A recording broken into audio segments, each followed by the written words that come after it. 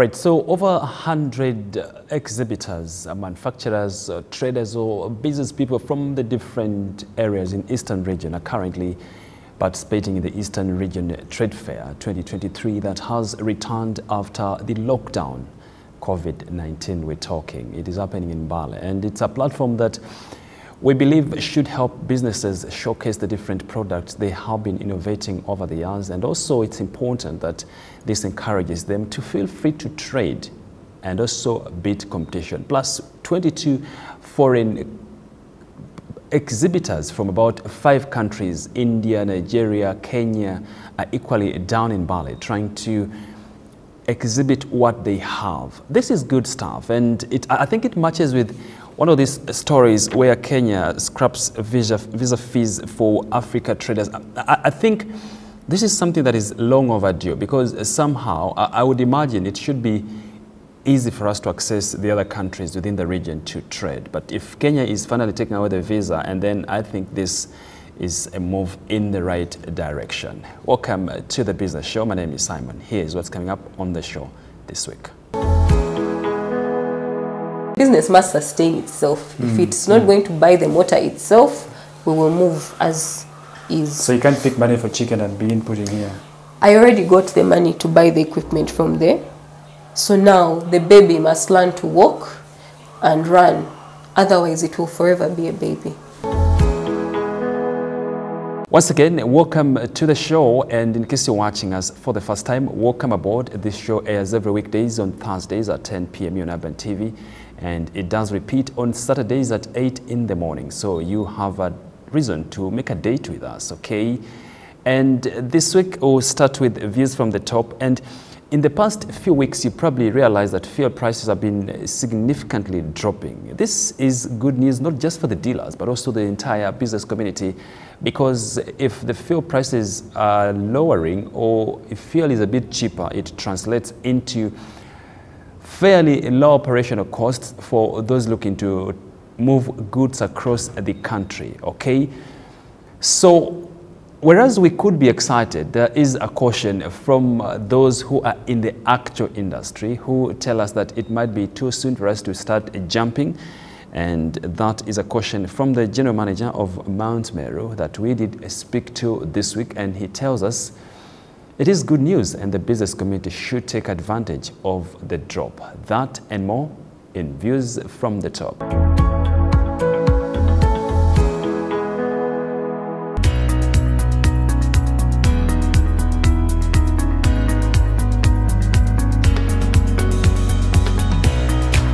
Thank you so much, Daniel Mshabe, uh, the General Manager, Mount Meru Petroleum. I've been in this industry for the last 20 years. In June, next month, on 4th, I'll be making exactly 20 years in this industry. So I hope our conversation will be fruitful. Basically, there are a number of issues that have caused prices to come down. Number one, uh, immediate after the, the, uh, the, war, the war in Ukraine, the, the Russian invasion, of Ukraine or what others want term as the special operations of Russia in, in Ukraine. Um, sanctions were placed on Russia. Russia is a major, major supplier of oil in the market. If you look at America alone, America was consuming about 8% of its total needs of fuel would come from Russia. But you remember with, when the war started, most European countries and American countries put sanctions on uh, Russian fuel. It wasn't coming into the market. So there was that huge gap, the gap between demand and supply. Now, when that happens, prices skyrocketed. And of course, uh, bearing in mind of things that had happened, the sudden opening up of the economies after COVID-19, there was too much demand and the supply was less. But now, you're talking about the Ukrainian war. Uh, major consumers of fuel, like China, like India, they said no. We are more afraid of our people's reactions than we fear the Americans and their sanctions. So what did they decide to do? They decided to move to, they decided to import directly the Russian, the Russian fuel, oil, It started flowing into their market, and you can imagine how much they take. So so much. If uh, Uganda alone, daily we consume about six, we consume about six million liters a day. In a month, that's 200 million liters. So you can imagine huge economies like India and uh, China uh, buying from from Russia. So uh, when they were- when they started buying from Russia, uh, countries, the OPEC countries and the Saudis, you found much of the fuel now was free to come into down in Africa, in Europe, in the Americas, and uh, prices started reducing drastically. Because remember, at the peak, for example, in um, in 2022, uh, the price of a barrel crude oil it, it averaged around uh, $95 That's around how much in Ugandan currency? uh, we can calculate that Yeah. uh, that's a that's a barrel not a liter then uh, if we look right now the average barrel in this 2023 the average is now shooting down to about 70 75 that's a reduction already of 20 dollars on a barrel. So prices have come down. The, the, the, the supply this, there is there is supply now. And you see when there is the supply overshoots demand prices definitely come down. Yes. So it's one of the reasons.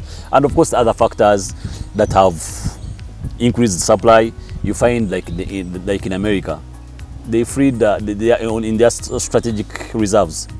They they started pumping out more fuel so that the prices the, the, the cost of, uh, of fuel comes down. So those are the fact, those are the, some of the things that we are seeing around. And of course like um, you, I don't want I don't want to call it a cliche. What what really happens? They always say to fight a price. A price will fight a, a high price will fight a higher price. How does it come about? To fight a price, get a higher price. A higher price will fight. To fight a price, maybe to fight a price, eh, hmm. you you need a higher price because it reduces what demand, and hmm. then the prices come down. Hmm. So this is basically what has happened. You see, there are many factors, like you know, that influence. Like I cannot certainly sit down here and tell Ugandans with certainty that prices will come down because of so many. We are affected by outside events Yeah. that some are not predictable. But yes, the trend right now is prices are coming down.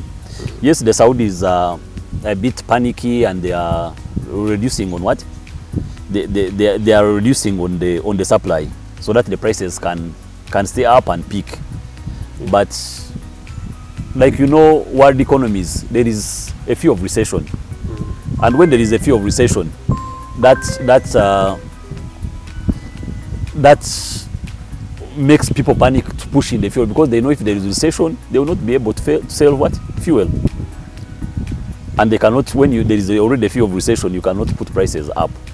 So the world trends the indication are all that the prices would are coming down. When something is just starting you don't get the solutions are not for are not you cannot predict the you cannot tell immediately but solutions have been found around around that.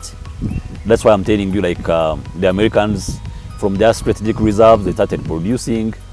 And uh, russia itself by the way let me tell you last month uh, they, they sent out in the market I think the highest exports since 2019.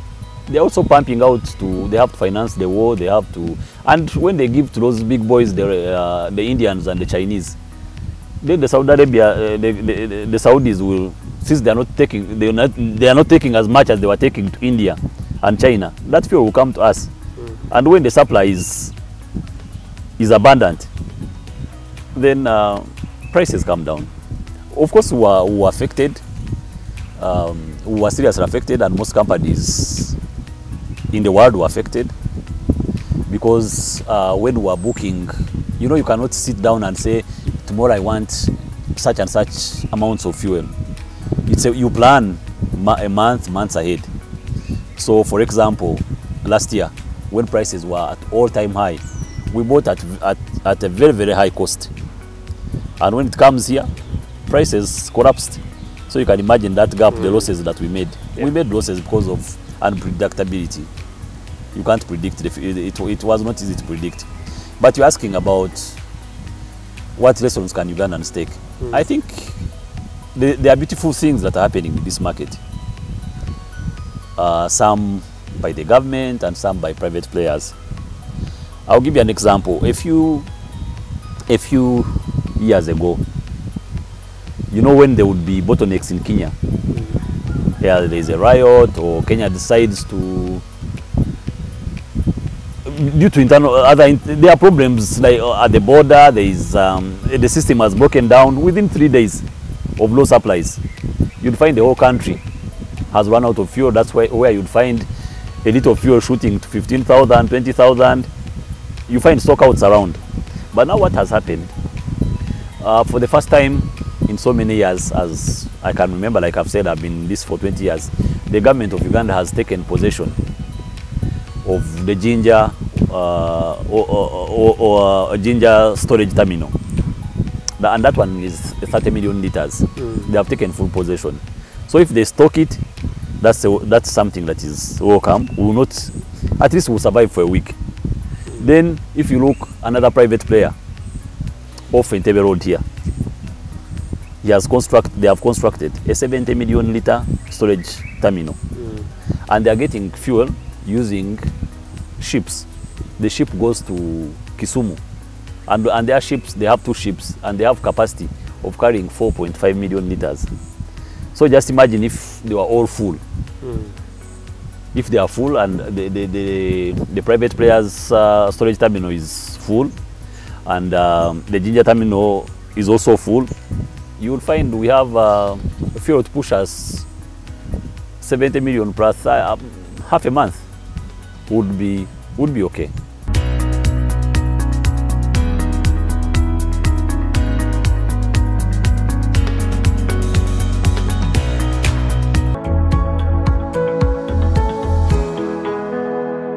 So I keep saying if there's any slight opportunity for a business person to make some quick money, use it, maximize it, and ensure the returns are watchable. Okay, so do it. We, we do not know how, how far or how long this will take, but if the fuel prices can keep slowly going down, right now for major guys, the major dealers, they, they, go for about 5,040 a liter, that's for petrol, and just about 5,000 for diesel. So that's good enough stuff. Yeah, it's compared to the six something that was as of last year. So we can hope that this keeps dropping for our business community. Look, we're headed into the new financial year, so some things just have to work towards bettering our businesses. Okay, time now for a quick break on the program with me, Simon. Stay with us. In the meantime, feel free to drop us those comments on our socials. I'll see you after the break.